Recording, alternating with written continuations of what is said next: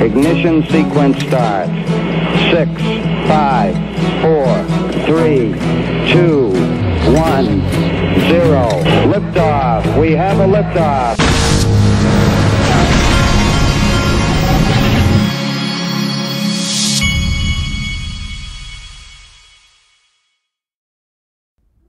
Hey, everybody, this is the Digital Asset Investor, and let's get this party started. I just helped my sister move a couch that she needed to at her house. And so I would have had this video out earlier. I had it all ready to go, but I had my sister and my mom was here, and then they uh, I had to take them to uh, deal with the couch issue. So here we are. Now we're going to talk about gold. Russia will implement the now this is in Russian and so I I don't know what they're saying but I'm just taking this guy's word for it because I've seen this I've seen many tweets about this. Russia will implement the gold standard. PM advises foreign businesses that competitors will take their place. Russia to return to the gold standards. The government the government will abolish the VAT tax on bullion. This bill will go to the State Duma on March 4th going forward. when purchasing gold bars or other precious metals from a bank, the 20% current tax on top of its value will not apply. This is a way to ensure people can invest securely in something other than the dollar. Usually people hold their cash in dollars and as the ruble is volatile. Folks, I, I'm assuming that this is what we're seeing here and this is true, but isn't this where we all knew this this disaster of money printing and going into debt? Didn't we know that the dollar would eventually go to the graveyard because of all that these irresponsible politicians and bureaucrats have done to our money? So it wouldn't, I wouldn't, of course Russia's going to do something like this. This is how the dollar ends up in the dumpster, folks. Now, this is also why, why I talk about Glint, okay? This is what I'm doing now. Okay. I opened a Glint account because it let you can do one of two things. You can either get physical delivery of gold. I'm, I'm going to do both. Right. And so far I've just set up my account. But what, th- what's so cool about this is that I'm going to be buying, I'm buying, I already have, I'm buying gold with my Glint account. And then I, I ordered one of their MasterCard debit cards. And so then I can spend my gold. Literally, I can go to a Mexican restaurant to have my margaritas I love. I can buy the margarita and the chips and cheese dip with my with my Glint card and it physically itemizes how many grams of gold that I've spent. Or if I choose to, I can choose, I can go into my account and I can choose to do the same with US dollars if that's what I want to do. This is the ultimate insurance in my opinion because now if things really hit the fan, all I have to do is go into my Glint account, choose, okay, I'm going to spend gold now because the dollar is in the dumpster. So now I'm going to spend gold with my card. And my purchasing power is, is in good standing while the next guy that's paying next to me in his US dollars, he's in the dumpster. Get it? Got it? Glint. I'm going to put the link to this Glint. It's a Glint I'm going to put the link to this in the top of this description. In my opinion, people are crazy if they don't have, well, this is what I have. XRP, XLM, gold, and silver too. I'm hope maybe they'll add silver to the Glint. Who, who knows? I don't know. All right. Now, I got blocked by Jim Rickards, who's the ultimate gold bug. I got blocked by him yesterday, and I don't understand why because I'm his biggest fan. Jim Rickards, who I think is one of the smartest guys in finance, blocked me because I guess because I showed a clip of his Ice Nine video yesterday, um, and then I guess I'm assuming he he didn't want that to be shown. I don't know. So if any if Jim Rickards is listening, please unblock me. I did not. I was not trying to. In fact, all I did was talked about how smart you were in the video. Um, so uh, but I did, this is the clip of the video that, that I wanted to show you that I didn't show you yesterday. It's at about the 630 mark. This is the video I guess I'm assuming offended him that I showed it. Intelligence sound. He gave me a nice gift when we parted ways, a blue Swedish vase. I keep it in my writing studio at my home in Connecticut. But my point is I came away from all three meetings convinced of one thing. When the next crisis hits, the elites are planning to freeze the financial system, and they'll replace it with a new system, one not based on the US dollar When that happens, we'll wake up to a very strange and disturbing new reality. And, and, for our viewers that are watching today, what might their reality look like that morning? How does this manifest? First, they'll have gone to bed knowing that a massive financial crisis was underway. But when they wake up, they'll find it has worsened and the contagion has spread worldwide. When they go to withdraw money, their ATM will say closed temporarily. When they go to sell stocks, their account will say transaction not available. When they go to their local business, that business will only accept cash if it's open. As citizens realize they're being barred from their money, riots will erupt. It's going to get really bad really but, quickly. But how would such a freeze actually work? And, and wouldn't that be highly illegal? Well, it wouldn't be illegal. Okay, I just wanted you to see that part. And, and th- then I want to show you this because somebody replied. This person, uh, who I don't follow, now I do. They, they replied with, a, with something I showed years ago, maybe one or two years ago on this channel. There was a lot of people showing this. And this is Jim Rickards, and he's at this little round table, and I'll show you where it is here in a second. Let me do the refresh button because I want you to hear this clip of Jim Rickards. Hold on the pallet, fly it in a plane to the other guy, and he puts it in his vault. End of story.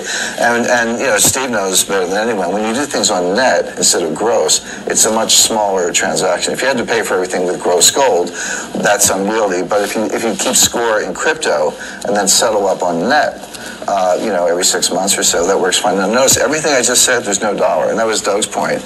Are we looking at the dethroning of the dollar? If we've got gold, Putin's uh, crypto, Xi crypto, um, a distributed ledger, and a large trading network. That That's right. Not involve dollars, does not involve SWIFT. Is that the beginning of the end of the dollar? And it might be. Did you hear what he, he said? He said Putin's crypto, Xi's crypto, and then a digital ledger. Okay. Remember when, when David Schwartz described how it would work when CBDCs are being built on the XRP ledger? He, he, the way I remember him saying it, he, he was saying, okay, you got these walled gardens and then the wall comes down and then they use XRP as a bridge to go to from. So I picked the way I picture this is the Chinese digit, their crypto. The wall comes down, the digital yuan, then it goes through XRP as a bridge to Russia. Then the wall, their wall comes down and it goes into the digi, digital ruble, ruby, whatever their currency is, uh, ruble. Um, and so that's how XRP could be a bridge. That's how you could create some type of a compromise, a shared world reserve currency, the way um, yesterday, um, what's his face? Um, uh, Jerome Powell said something to the effect that there could be many world cur- reserve currencies or something like that. Okay.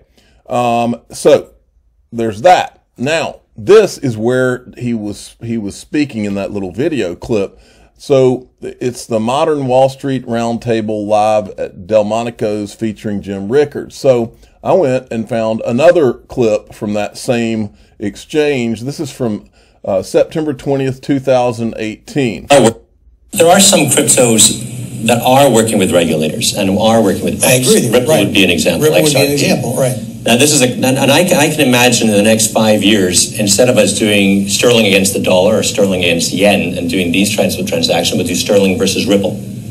And the reason being, dollar right now is a two-day settlement. With something like Ripple, you could do settlement in seconds. And I think that there's a future there where the guy that's trading spot FX today will be trading spot FX against Ripple in the future, in the next two or three years. Him nodding so I think head, that Ripple yes. has a great future because it's right now supported by all the banks and by all the regulators. Let's go back. Watch, Sterling versus watch Ripple. while, while he's while this guy's talking about Ripple. Look at Jim Rickards' head. He's not he's not shaking his head no and rolling his eyes. Watch his head.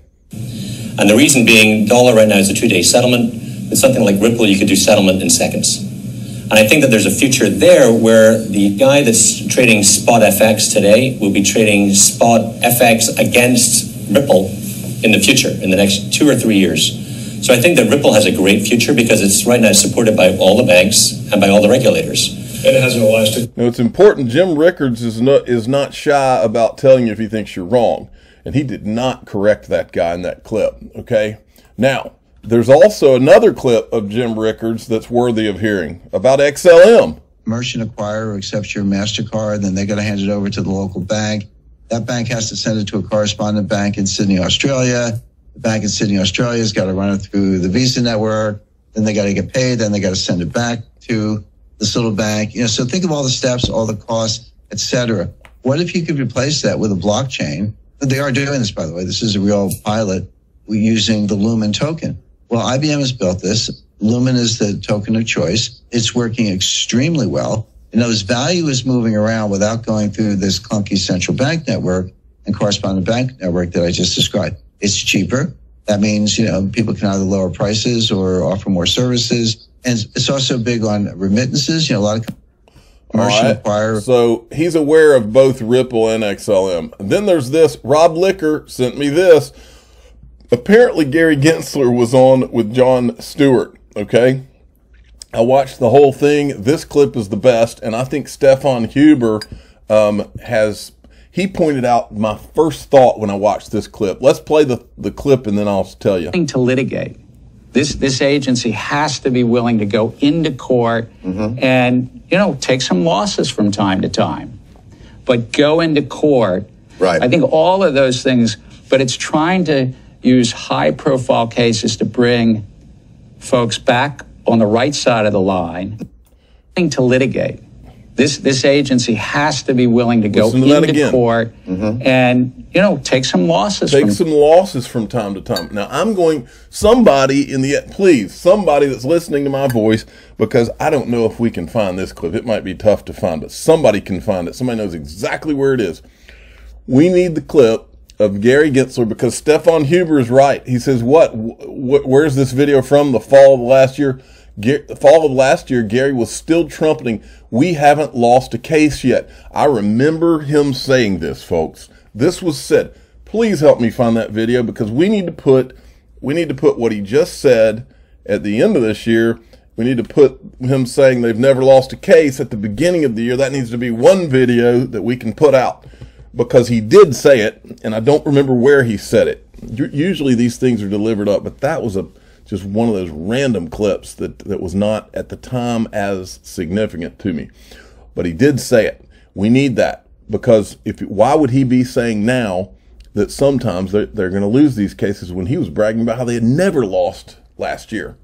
So let's find that. Somebody help me out. Now, I did a whistleblower alert on this video, and here's why. Watch what he said. At the beginning, you're going to see something else he said in that interview and what I tacked on limit on the amount that a person could invest in Ethereum? Um, a, person can can buy uh, from any number of different identities. We may limit the size, the, the unit size of a sale, um, just to um, make it easier to disguise. Um, let's say if you're a whale and you want some privacy, um, you can buy um, 50,000 units, and just, just uh, um, so, so nobody scares people with, uh, enormous initial purchase. I think you get the point, folks. Uh, so I did a whistleblower alert, copied Jon Stewart in, copied Chuck Grassley in, because he was mentioned by Gary Gensler there. And then, of course, there's this. And remember, it's not just disguised whales we know three things. We know from the videos I've shown, uh, we've it's their own words. We know that J.P. Morgan was involved with Ethereum. They they were there before it launched.